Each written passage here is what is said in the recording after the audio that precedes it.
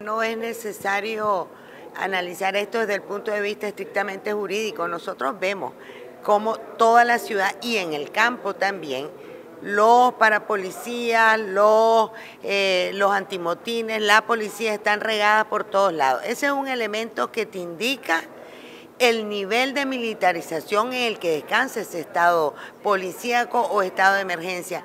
Vimos el caso de la niña ayer en el Colegio Argentina, eh, República Argentina, como porque le tiró una piedra, inmediatamente el policía sacó una pistola. Es decir, ya, ya, no, ya no nos puede asombrar nada que venga de esta dictadura. De todos son capaces. Pero además no hay ninguna garantía, ningún derecho, ni civil, ni político, eh, ni siquiera los derechos sociales, a los derechos laborales, porque vemos cómo están despidiendo gente. Aquí hemos tenido hoy, y, por eso lo recuerdo, a, doctores que han sido eh, despedidos de sus puestos solo porque ayudaron a los heridos, como era su eh, compromiso como médico. Pretenden también intimidar, amenazar, eh, meter miedo, desmovilizar a la población, pero esas son pretensiones absolutamente eh, inútiles, porque el pueblo de Nicaragua no se va a desmovilizar. Esto ya es algo sin retorno.